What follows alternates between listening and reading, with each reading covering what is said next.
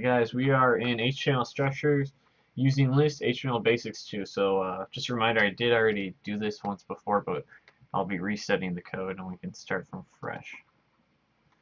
So in this case, let's get warmed up by adding a title and a head. So um, if you don't remember how to add title, it is title title and we'll say we'll just call it H, H, HTML basics 2 in the in the head. Uh, header. Header and then in the body uh, create a paragraph.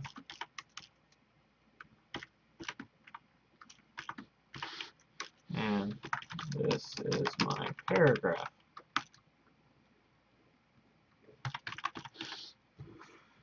Cool. Simple enough. Alright. So, indentation is your friend. It's just, uh, usually there's probably some, uh, in the environment you're writing in some sort of function you can write. Um, but uh, in this case, we, uh,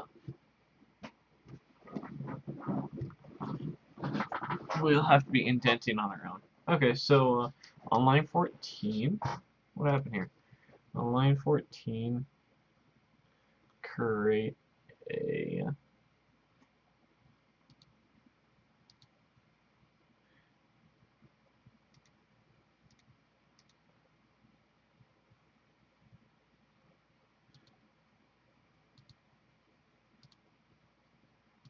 So there's line 13 ordered list. Line 14, create an H2 heading.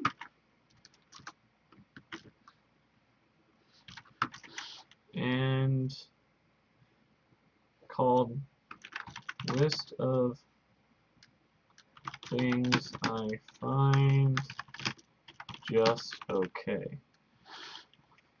Alright, and we have to close it. And starting on line 15,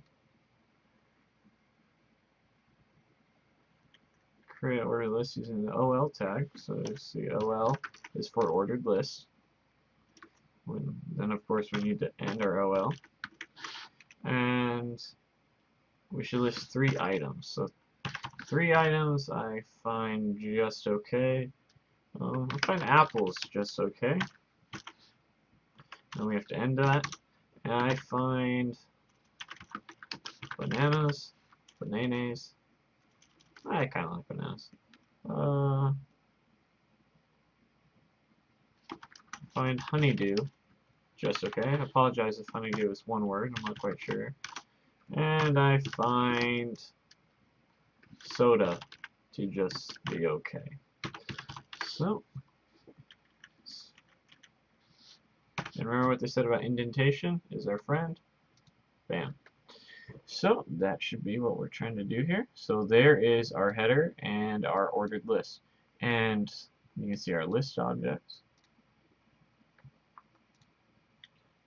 Okay, in the body tag, create an H3 tag. So you can create a, excuse me, an H3 tag with the text most annoying TV celebrities and the H3 tag. Make an ordered list, so there's our OL. And here, uh, we want a list of annoying, so we'll do carrot top. Uh, let's see. Um, Kim Kardashian. Again, I apologize if I'm not spelling this properly.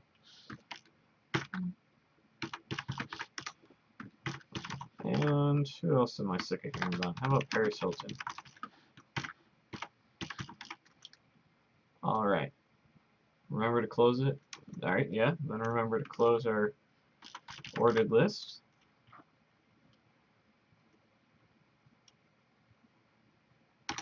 Alright, and then we want to make an H2 tag here. And we want it to say top three things I can do for Mother's Day. Period. End the H3. Create another ordered list. And then create another list. Object 1.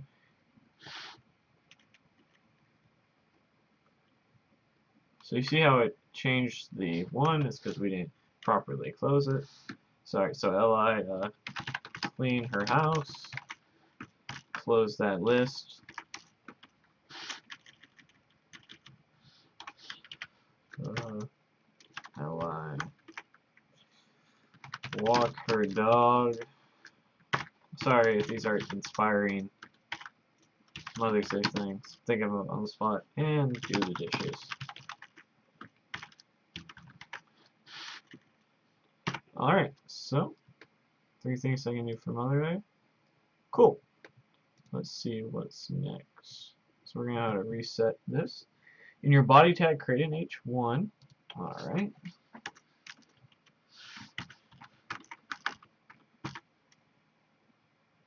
Tag and put some random thoughts inside of it.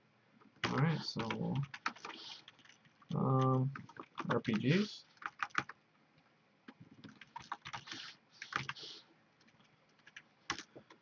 Alright, under your H1 tag, create a paragraph.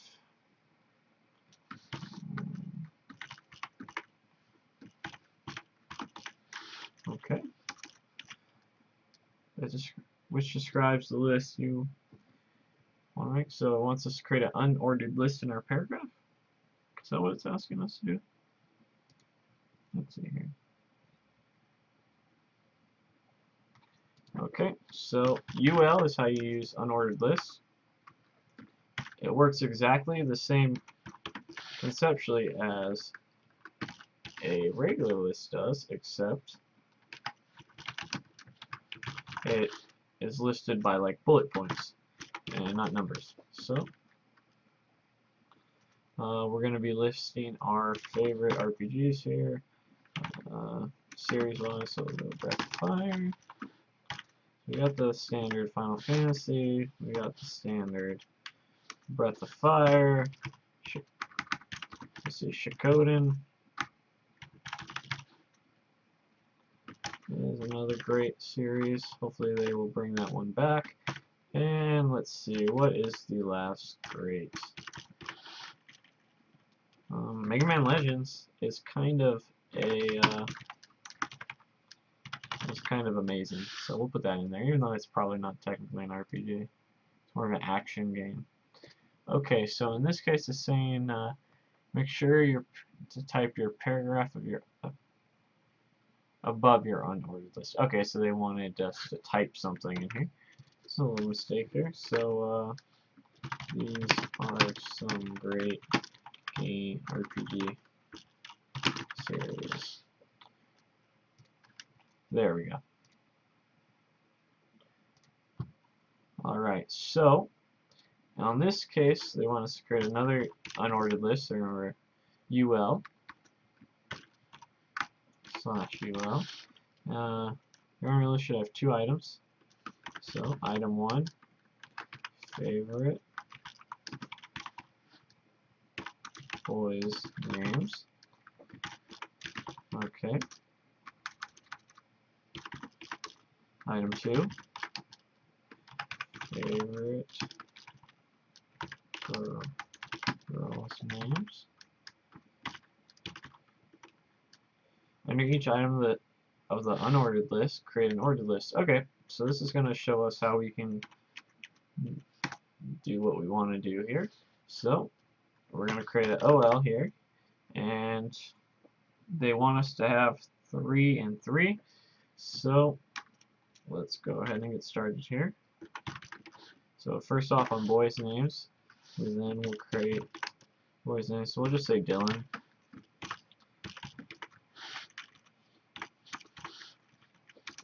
I've always really liked the name Zach, so we'll go Zach.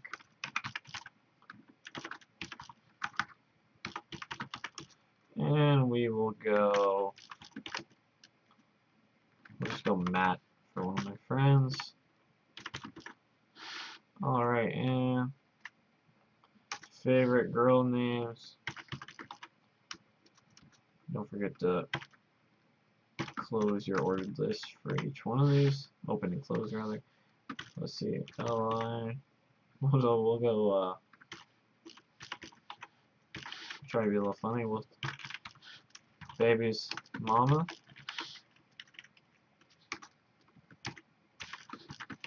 Side chick.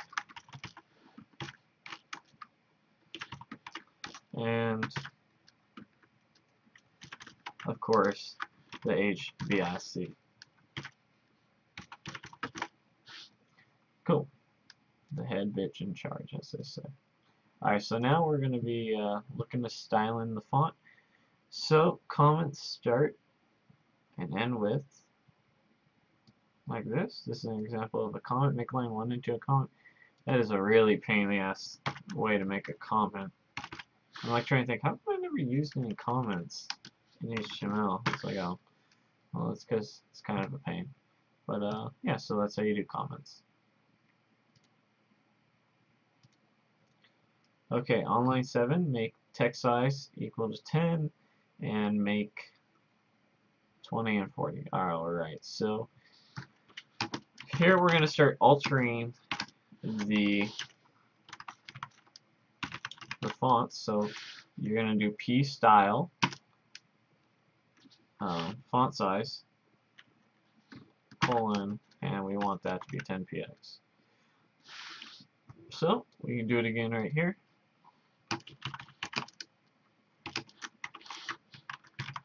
So font dash size colon we want this to be 20px and then we're going to do it one more time style we want this equal font font size, and we're going to set this equal to 40 px, and you can see they're getting exponentially bigger. Cool, not not too uh, not too shabby. So next thing we're going to be doing is header style. So um, we can use it for more than just paragraphs. So let's see here.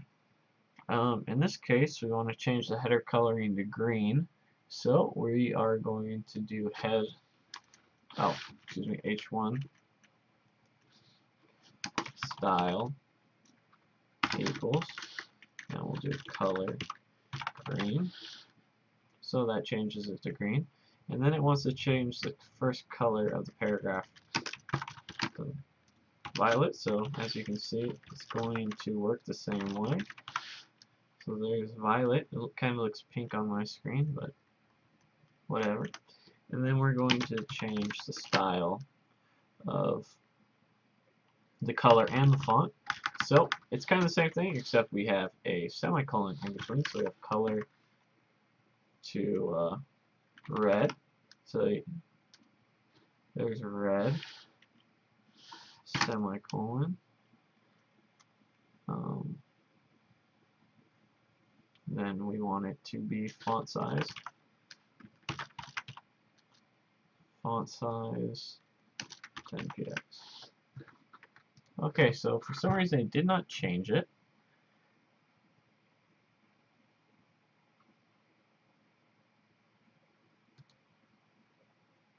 Oh, well, that's wrong right here. So we have font dash size. Then we have. So let's see why it didn't change it.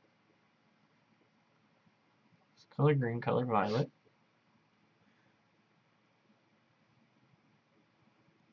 Hmm.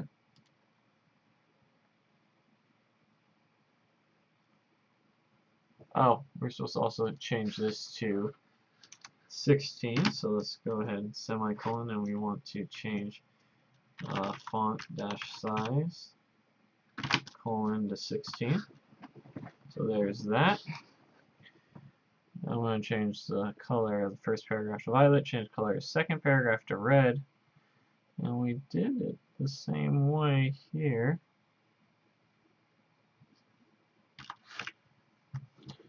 Huh. Looks like your header's font size is 16.36 instead of of 16px. Interesting. So let's go ahead and copy this. And when shit like this happens, you kind of sometimes it's good to refresh the page. But we are still getting an error. So let's see.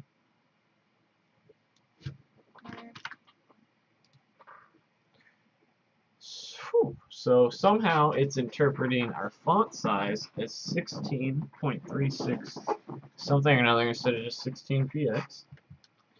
So let's go ahead and see if that helps. It does not. So we're going to go ahead and go to the Q&A forum.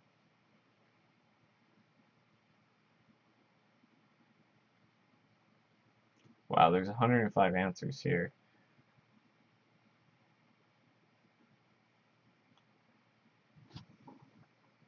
So we are on section 9. So section 9 of 16, HTML basics, font color.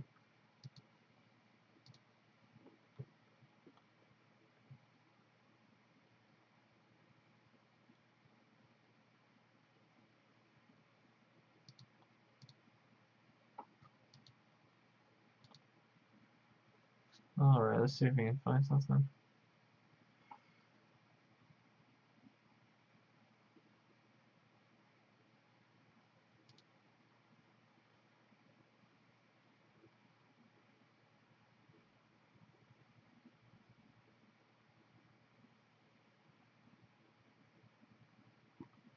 Let's see, did we do this right? So there's our style. We have it equal to color dot green, color dot violet,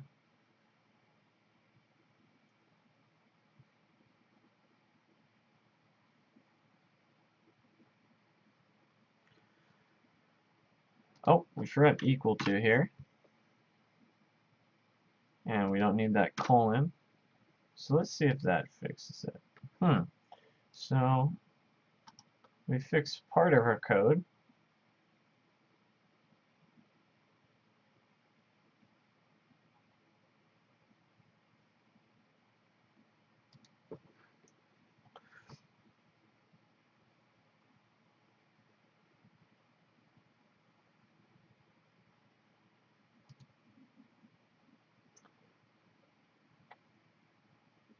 Alright, so we're going to copy this right here.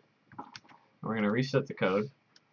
And in the heading, we are going to redo that part manually again. So yeah, h1 style is equal to color colon green semicolon.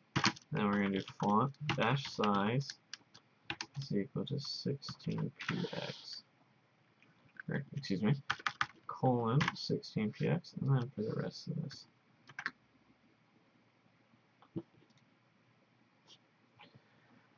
It looks like your font header size. Alright, so let's go ahead and copy this and see what it says in the Q&A forums.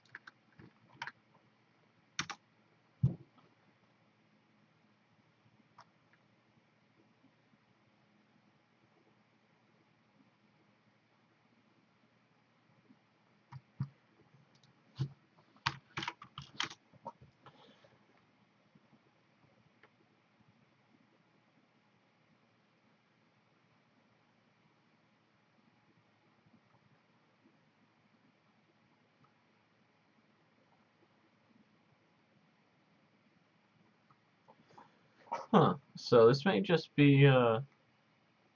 I'm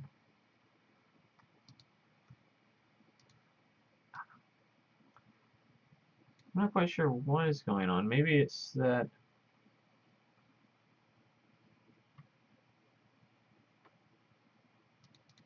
Let's see.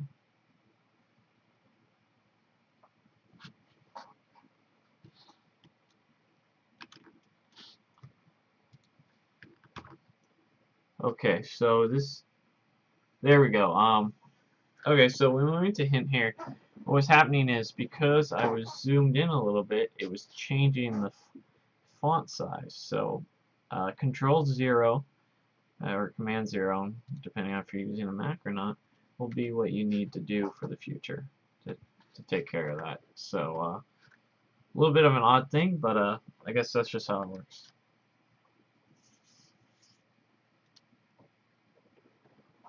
Okay, so we can also do this for lists.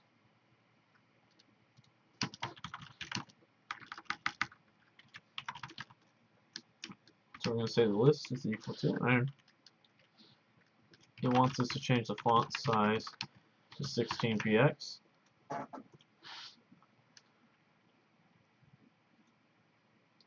And the font to Arial. So semicolon font dash family. We'll do Arial. So you can see our little change there. Change font size to the second list item style is equal to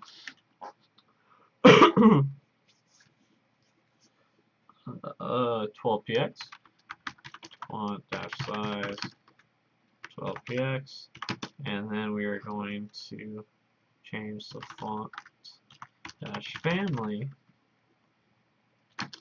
to uh, Verdana no, it's a nice font. I've always liked the Verdana. If I'm pronouncing that correctly, I may not be. And then finally, uh, we want to change the font dash size to 10px, and we want to change font dash family to impact.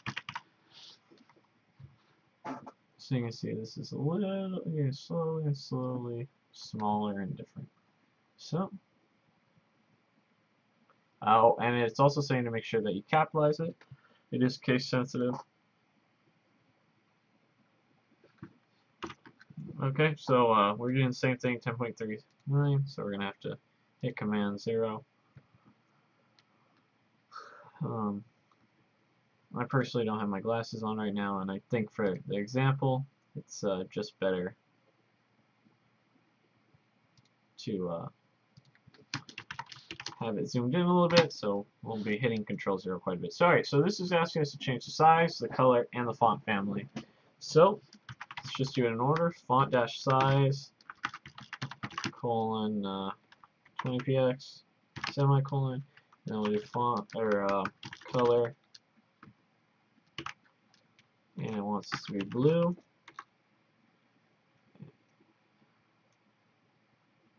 Oh, so we don't forget the um, quotation, so color dash blue, and then finally font dash family, and we want to set that to Arial, and then we get a truly spectacular paragraph. So there is that. And let's see, do some more styling here.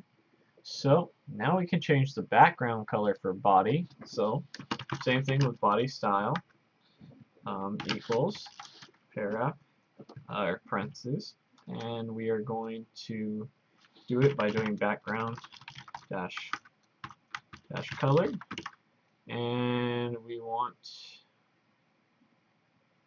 to do it as brown for some reason it comes out as red on my computer but whatever and uh, for the body style oh change the background color of the body tag to brown. There we go. Choose uh, change the background color of the ordered list to yellow. So ordered list style equals background dash color, and we're going to do yellow. So you can see right here, everything in the ordered list, not one list item, is actually changed. It's not too bad. Alright, so make the H3 heading aligned center. So, uh, there's also a text align that we can use for styling. So, we will do text dash align center. So now this is centered. And then make the first item in the list align. Sorry, so we're going to first item style, set that equal to uh, I'm guessing it's just list, so text dash align list, or left rather, um, so it's not going to change because it's already standardly aligned to the left. And then here we're going to do center. So we're going to do text dash align center. So you see it shifts to be lined up in the center with everything else. And then here we go, uh, style equals text align. And this one is right, so this is going to go quite a bit over. And make sure you put the parentheses. And bam, there we go. So now we want to use the word sing on line 7. Or, excuse me, bold the word sing. So we saw a little bit of this earlier in some examples, so we're going to use the word strong. Um, I'm not sure if it wants us to get the question mark or not, but we're going to put an end to it like that, and then the word to. So, I'm not quite sure why they just didn't do bold. It would have made more sense to me, but maybe that's used for something else. So there is our bold, how to you bold things. Alright, and then that italicize, you use EM. So, uh, that, and then slash EM, bam, so that is italicized, and then, so, of EM, bam. Pretty easy stuff and now we are going to do it all. Um, oh, it's just a summary of what we've learned and just a reminder of what is going on here. So up next, we're going to be working with social networking profiles. So a uh, little, you can see we're throwing everything together slowly but surely. And you can see how, uh, you know, you can customize pretty much everything, it looks like. So I'll see you guys next video for the social networking profile activity.